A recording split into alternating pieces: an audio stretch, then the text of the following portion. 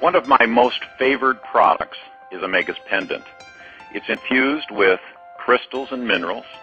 It stays in an amized fusion chamber for 21 days, and what it does, it kicks out a field of zero-point field energy in all directions about three feet around my body. I literally walk around in this bubble of protection.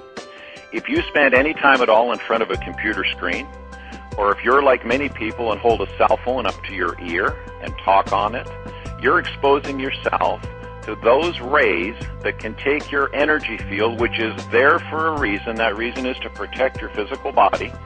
You're going to take your energy field and you're going to compromise it. You're going to burn holes in it.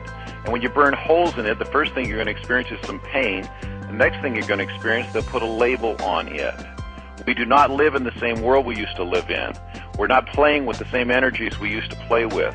Every single human needs to be protected if you're being exposed to computer screens and the cell phones and fluorescent lights and a host of other things.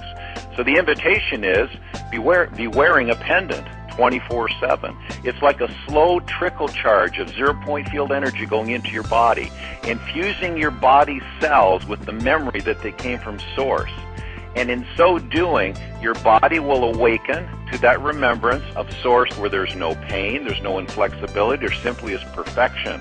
In addition to all of that, it looks great.